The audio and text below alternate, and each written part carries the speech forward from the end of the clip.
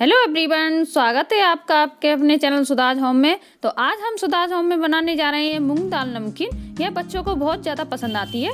तो चलिए बिना टाइम वेस्ट किए बनाना शुरू करते हैं। उससे पहले अगर आपने अभी तक मेरे चैनल को सब्सक्राइब नहीं किया तो सब्सक्राइब कर लें और बेल आइकन को ज़रूर प्रेस कर दें ताकि आने वाली वीडियो का नोटिफिकेशन मिल सके। तो चलिए मूंग दाल नमकीन बनाना शुरू करती हैं। ये हमने एक कप दाल ली है जिसे हमने ओवरनाइट सोख करके रखा था और इसमें आधा चम्मच सोडा डाल दिया था। अब हम दाल को अच्छे से धो लेते हैं। ध्यान रहे, दाल को हमें तीन से चार बार अच्छे से धो लेना है। दाल को धोने के बाद ऐसे हम छलनी के ऊपर एक बॉल पे रख देंगे ताकि जो भी एक्स्ट्रा पानी होगा वो निकल जाएगा।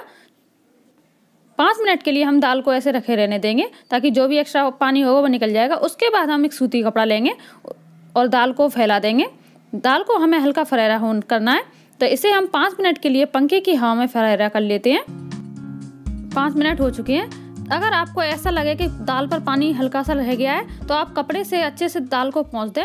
ध्यान रहे कि हमें इस तरह से पहुँचना है, दाल पर बिल्कुल भी पानी ना हो। अगर हम हाथ से देखेंगे तो हाथ पर हमारे पानी नहीं आएगा। दाल हमारी एकदम अलग अलग सी नज़र आएगी। बस हमें इसी तरह की दाल हमें तैयार चाहिए।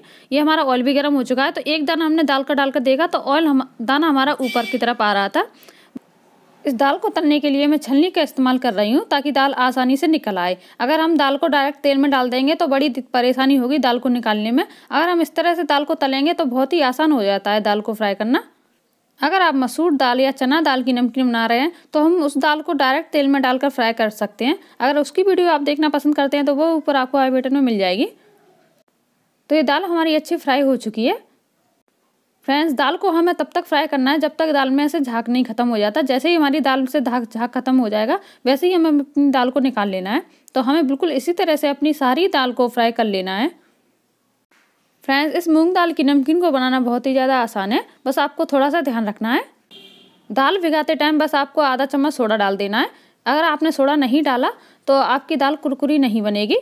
उसके बाद दाल को फ्रेरा होने के लिए रखें। तो दाल को पाँच से दस मिनट तक ही रखें, ज़्यादा नहीं रखें।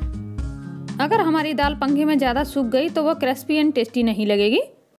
तो ये दाल में सिर्फ़ मैं नमक का इस्तेमाल कर रही हूँ। अगर आप चटपटी दाल खाना पसंद करते दाल मसाला डाल लें, या फिर अब मेरी आप चना दाल, मसूर दाल की वीडियो देख लें, उसमें मैंने मसाला बनाया है। तो अभी के लिए इस वीडियो में इतना ही। मिलते हैं अगली अगर इसी नई वीडियो से तब तक के लिए बाय